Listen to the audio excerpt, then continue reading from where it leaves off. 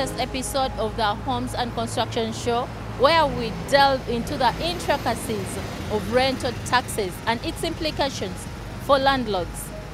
In our previous episode, we looked at the importances of remitting taxes on time and we also looked at which landlords are obligated to paying these taxes.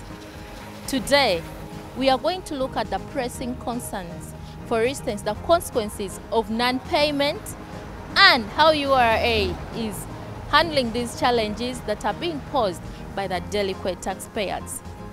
Joining us today is Mr. Ocheng Padi, the manager of rental taxes at URA, and is going to shed more light on these crucial matters. My name is Hilda Kamkama, and without wasting much of your time, let us go straight to the show and we learn more enlightening topics.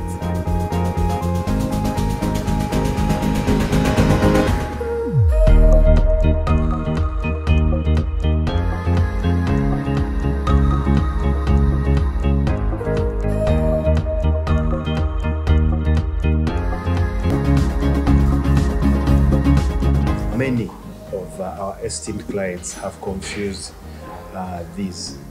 So I'm going to take uh, this opportunity to differentiate these different taxes that may all relate to maybe property and uh, maybe the same landlord or property owner. I'll start with the Busulu.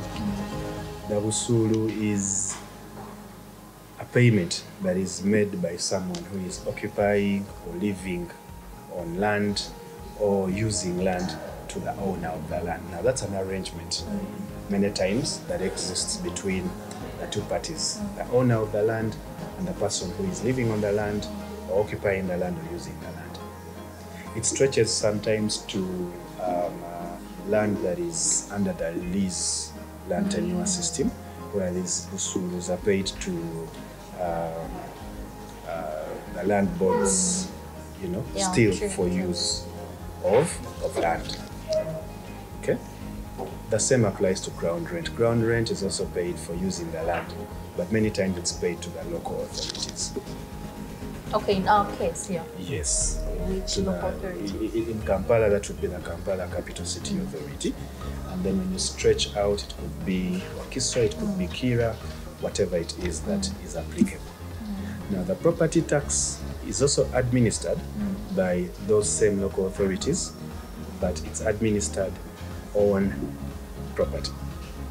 It is uh, a tax that is paid on a scientifically derived value of property, irrespective of whether the property is generating income or not. So they have their ways of uh, arriving at that value, which they call uh, technically the rateable value, and then uh, the property tax is computed based on that rateable value. Now, on the other hand, the rental income tax is charged on someone who owns property, which could be land or buildings, and they rent this out or they lease it out and they receive an income for renting or leasing out this immovable property. So the key difference is that for rental income tax, there must be an income, Income. in form of rent that is derived by a person.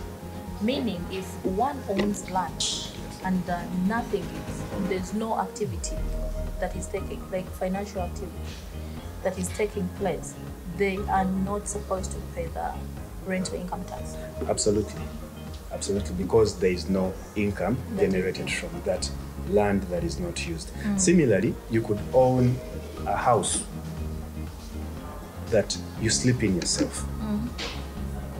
You'll find that for the property rates and those busulus, depending on the circumstances, they might apply.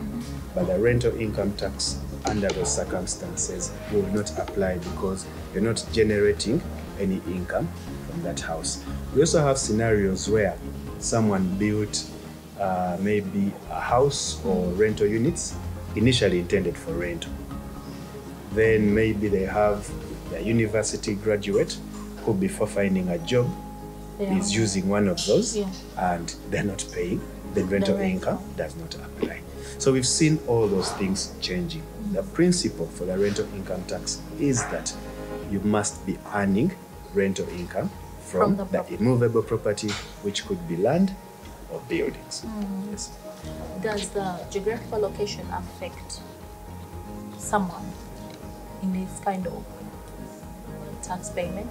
Of a rental income tax, um, uh, like I said, it's on the income that you earn, irrespective of the geographical location, as long as it is within Uganda. Uganda. So maybe uh, how it affects is uh, in terms of how much rent you will get, because Mm. generally we know that uh, rent in urban areas is Yeah, higher than rent so- in rural areas. Mm. But still, irrespective of where the property is located, Mm. we will determine what the rental income is, and the applicable tax rates shall be used to determine the rental tax. Are the commercial buildings or the non-residential properties also subjected to rental income tax? Um, yes, as long as you're generating rental income mm-hmm. where another person called a tenant is using mm. uh, your premises. It could be for residential purposes or it could even be for commercial purposes. Mm-hmm. Commercial purposes would mean they're using it as a shop, they're using it as a, an office space, they're using it as a warehouse. Yeah. So, whichever purpose, as long as you are an owner of uh, property, immovable property in Uganda, which could be land or buildings, and you're letting it out or leasing it out to another person who pays you rent, then you're earning rental income and you're expected to pay rental income tax. I want the viewers uh, to take note of uh, the slight difference between commercial and residential. Okay. For rental income tax purposes, there is no difference, irrespective of whether it is residential or commercial.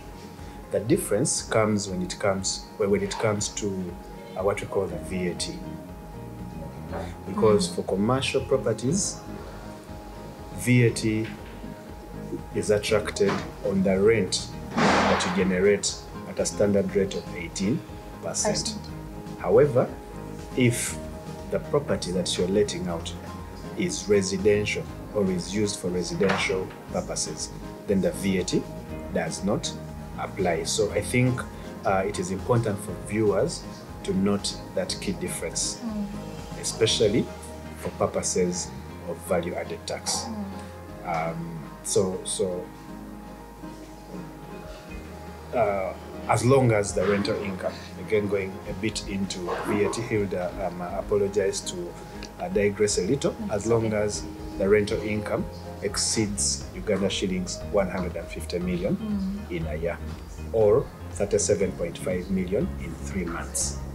Then the landlord who lets out a commercial building in addition to the rental income tax will be subjected to payment of the VAT, which ideally they charge to the tenant.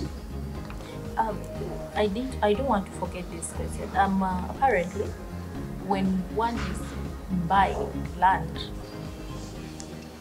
they are required to also. I mean, TIN is involved. Gone are the days you come, your agreements, then what? But now, if you want your title, what? Then you have to bring in the TIN number. You guys, someone has saved this money for ten years. It is their money, mind you. You've been taxing it. You, you get it? If it is from the rentals, maybe they've faithfully been complying and, and also paying, paying their whatever, paying their uh, fees. If they're employed, they also have the pay as you earn. Now they are saving their company. They acquire their land, their property. Why do you again go for them? Um, Now, and what tax is that in this regard? Okay. At point of uh, transfer of your land, for example, you have bought your land and you want to transfer it, a service that is provided by uh, the Ministry of Lands.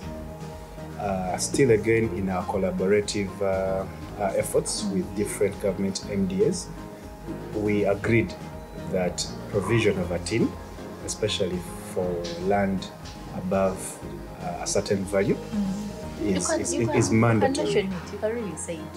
So 10 that our million, viewers 10 will million. Uganda shillings. It's mandatory. And, and this is, uh, friends, it's intended to ensure that um, there's visibility of, of, of everyone. Okay? Because for the longest time we have suffered with uh, uh, tax payment being in the hands of a few. So these collaborations help us to know who else is transacting and could potentially uh, be generating income and they're not complying. So this TIN requirement does not mean that you're being taxed at that stage. It is just a requirement so that there's visibility of what you're doing and probably tomorrow we will check if you're actually compliant or not. So uh, the TIN should not be taken as a tax. The only tax that happens at point of uh, transfer of land is what we call the stamp duty. Stamp duty. And that is paid for a variety of uh, other documents and it's uh, a legal requirement to legitimize a transaction. It's paid when you're making agreements uh, it's paid when um, uh, when there's when swearing affidavit so it's just to legi- legitimize and legalize documents. Okay. yeah so, So, it like, for- it's for- like admin it is cost. absolutely absolutely So recently, the president actually cited the real estate business or sector or industry as one of the fastest growing. However, he says it is severely undertaxed. In your own, in your own, uh, and here actually were telling us that uh, no, we have made a growth, 89% growth. So should we think that maybe the big man is trying to push a little bit more for you guys to do something great? I don't know. What What do you say? What do you think on that note? Um, I, I acknowledge uh, the wisdom of uh, His Excellency the President and uh, the merit in the concerns that have been raised. Uh, like I mentioned, we have hard caps, and uh, also as guided by uh, His Excellency, we have come up with the interventions that I mentioned earlier, which have yielded the tremendous growth in both our register and revenue numbers. Yeah, but um, um, if you can allow me to just break down uh, the real estate sector, Okay. just so viewers get an understanding of uh, the real estate sector and rental income tax. Now, rental income tax is just a small component of the real estate sector. The real estate sector is, is broad. It includes uh, the letting and leasing of property that generates, in a strict in the strict sense of uh, URA taxes, rental income, but it also includes other activities, such as uh, we've seen people who build uh, houses and sell them, Yes. Like the condominium? like the condominiums. Okay, that's still uh, it contributes to the GDP from uh, the real estate sector. Sure. but the income that is generated from sale of these condominiums or um, uh, structures that are built for sale is not rental income. So Oh. that income is taxed because in our classes of income, that's business income, and it is taxed as such. So broadly, that business income contributes tax to the real estate sector, but not to rental income tax Business? business income. So that business income also attracts taxes for individuals, what we call um, uh, personal um, uh, income tax, for the PIT, and for corporations and non-individuals, what we call the CIT, the corporate income tax. Yes. So it has its own um, different rules and other computations. We also have, uh, for example, um, people who buy big chunks of land. They 20 subdivide acres. 20 acres, 50 acres. They subdivide those. We call them property. Yes, masters. we call them property masters. We have several out there. Yeah. Um, um, they subdivide those big chunks, mm. they get small parcels of land, mm. and then they sell these small parcels. That's still part of real estate activities. But the income that they generate or the profit that they make when they sell these small subdivided parcels of land mm. is not rental income. It's business income. Business income essentially is on the profit that a person who runs a business makes. So business income is not taxed. It is taxed. It is taxed. which, okay, what kind of tax is that now? If I could give the example of uh, someone who buys big chunks, subdivides, and then sells, by the time they uh, they plan to do that, that there's a profit they are looking at. So we're going to look at uh, the income that they get from sale of the subdivided plots. Then we reduce the costs that were incurred. For example, they incurred the cost of buying that big chunk, Even subdividing. in the process, maybe they've incurred surveying costs of subdividing the land, of uh, transferring the land title. There are legal costs involved there. Advertising. Advertising, for example, very good. Maybe they have employees and their employment costs. So all those expenses mm. are allowed mm. to reduce on now the income that has been generated mm. from sale of this. Now, what remains is what typically is called a profit. Now, for tax purposes, that is what we call the chargeable income. Now, that's the portion that is taxed at 30%. So that's business income. So there's a variety of activities in real estate that do not generate, do not, um, um, uh, Contribute to the rental. do not typically contribute to uh, the rental income. So uh, I was looking at the numbers, and uh, rental income tax contributes just about uh, 25% of the total taxes In the that real the real estate sector contributes. Because in the real estate sector, we have the business income, we have the VAT, we have uh, the pay, pay, the PAYE, because in there, some of uh, uh, these business people could have employees. We have the withholding taxes. So we have all those taxes that are generated from real estate activities that are not necessarily rental income tax. So I thought I needed to demystify this so that it's clear that rental income tax is just a small portion of tax that we derive from the broader real estate sector. Yes. Now, when we talk of uh, rental income tax, do you have any exemptions? What I would call as an exemption would be individuals whose uh, income does not exceed the tax-free threshold of Uganda shillings Which is two million. two million eight hundred and twenty thousand. But uh, typically, there are no um, uh, exemptions uh, in the rental income tax for people who are generating rental income tax from leasing and letting out of immovable property. So, what is that that we heard about the hostels? Hostels, uh, that- that's another interesting debate that we have had. Uh, hostels also are part of the real estate sector. Okay? But the income that hostel owners generate is not rental income. It's actually business income. It's actually business income. Yes. Furnished apartments. I think we've seen furnished apartments for short stay accommodation. That's also business income. It's not rental income. Yes. So so so um, the real estate sector is broad, and it is important for people and uh, viewers to be able to know uh, what class of income for tax purposes that they are generating from the real estate sector. Yes. Uh, what is bound to happen to the tax defaulters of rental income tax? Um, non-compliance is very, very costly. Uh, we have penalties. You will remember that I mentioned uh, statutory timelines within which filing of returns and payment of taxes is expected. If you do not file a return within the statutory timeline, then uh, there's, there will be a penalty for filing your return late, and the penalty is 200,000. There's no exemption of ignorance.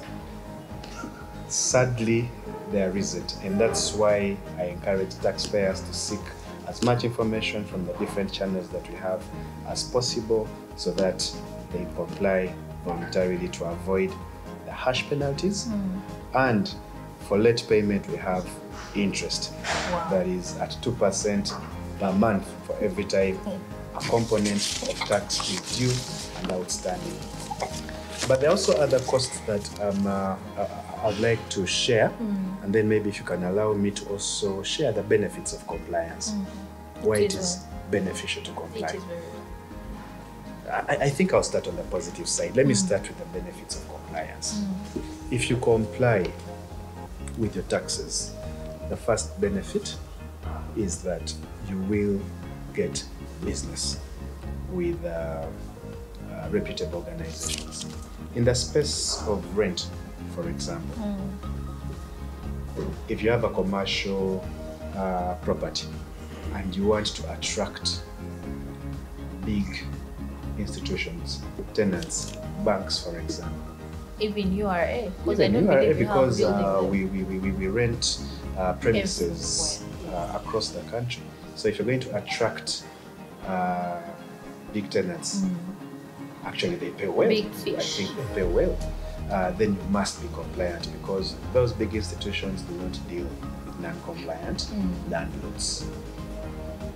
Two, it's important to be compliant to avoid those penalties. The interests and the penalties are extremely painful, even for us.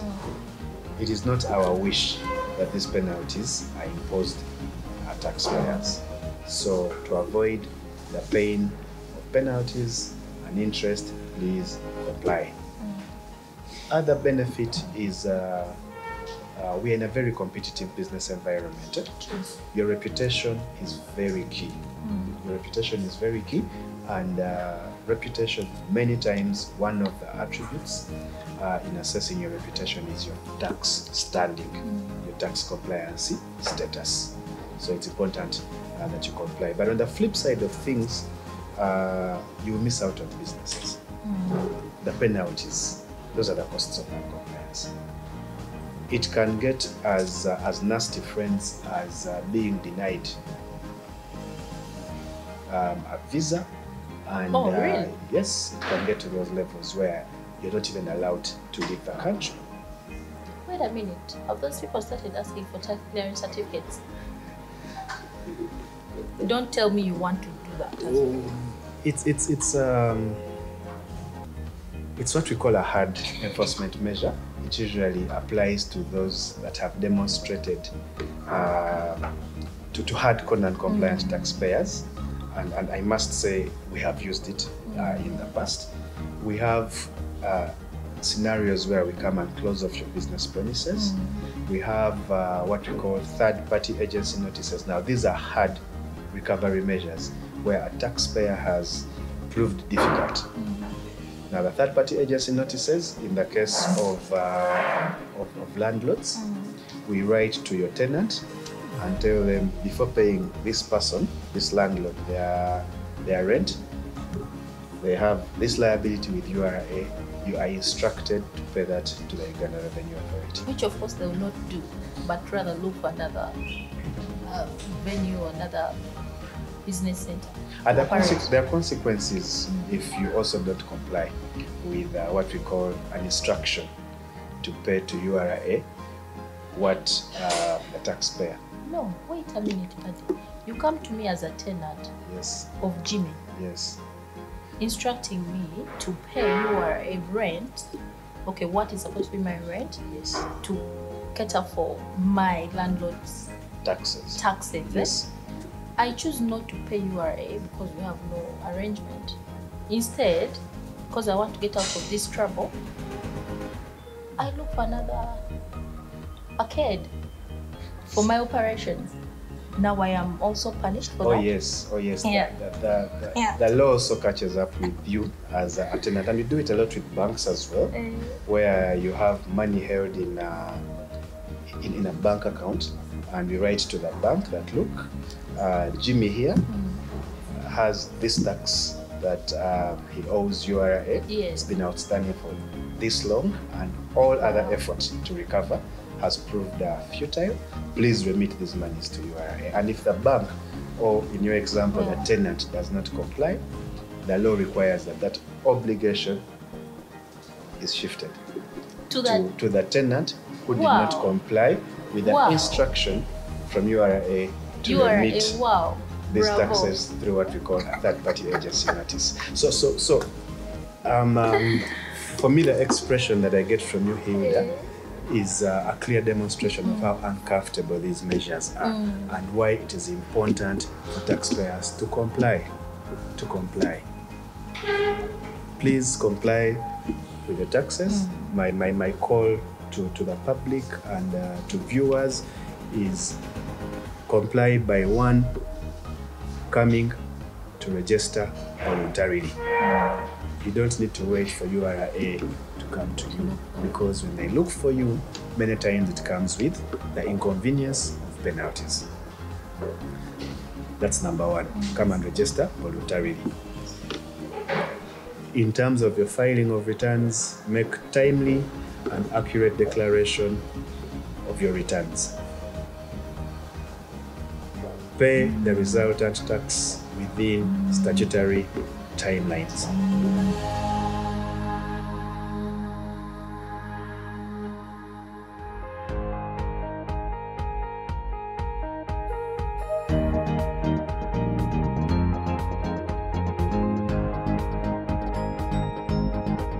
Taxation assumes a vital role in running the nation's progress, demanding unwavering commitment from everyone to faithfully pay their taxes. Today, we have looked at the various methods that URA has employed to have the rental taxes effectively collected, urging tenants to be vigilant on the landlords that fail to remit their rental taxes. Falling into such a predicament can lead to serious consequences. My name is Hilda Kamkama, and this is the Homes and Construction Affairs Show. I hope you have learned something. So until next time.